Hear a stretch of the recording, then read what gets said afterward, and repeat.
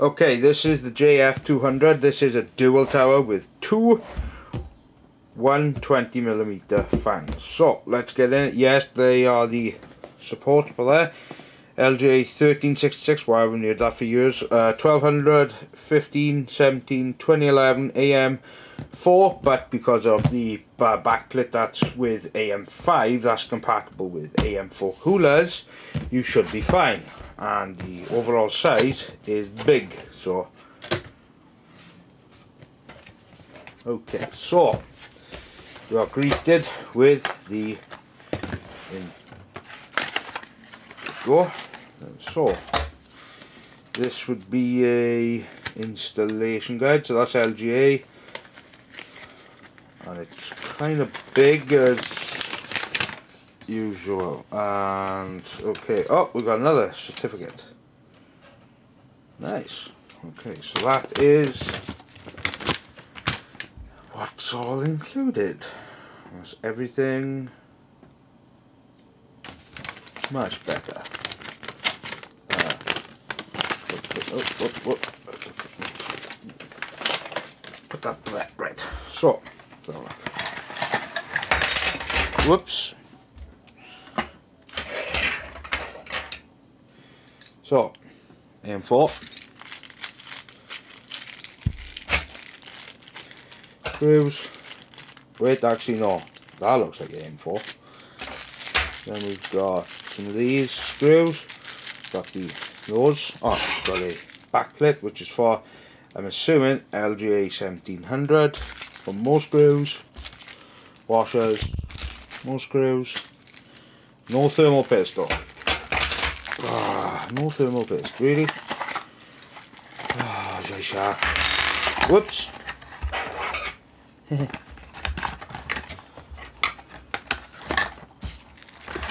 Sorry guys. Right, so got foam. Ooh. Look how big that is. Wow, that's huge. So here we go.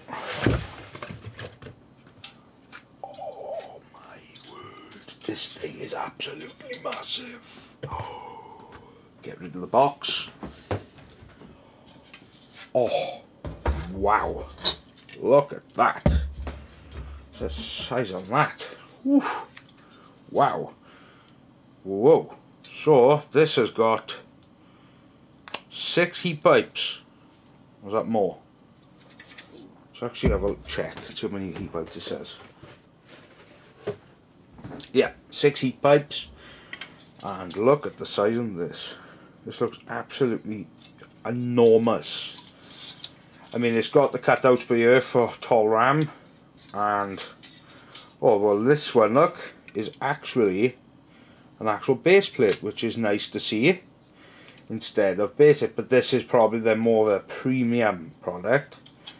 Just look at the sheer size on this beauty I like the overall look and oh we got another peel. If I could get it off. Okay right. So let's take these clips off. If I can get uh, yeah I don't like these clips.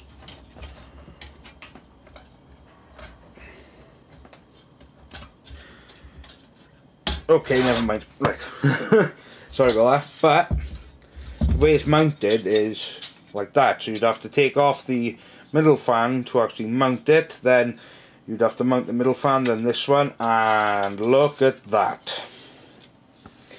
Can you see the big problem by here? Yes it is 4 pin which is good. It's 4 pin PWM but we've got this oh, accumulation of wires. Yes like squiggly D.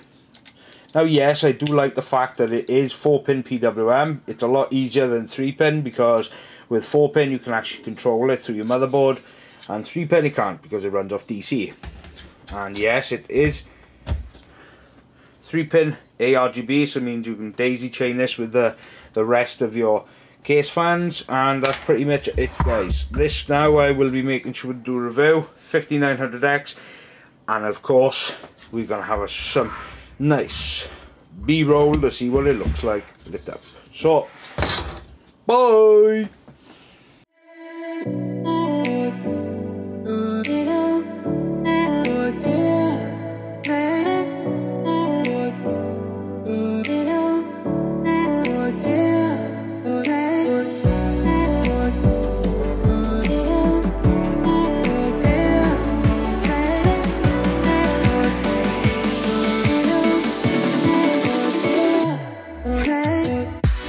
So what do you think?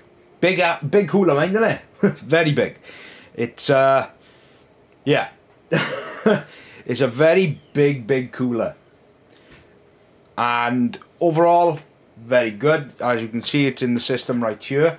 Now, I will be doing reviews on this and the other two included. I have all, I have done all the testing and that is all done. So, you've just got to wait for the reviews, which will be coming shortly. And I hope you enjoyed the video. Please don't forget to subscribe. Don't forget to like. And as usual, this is Richard Welch there. Goodbye.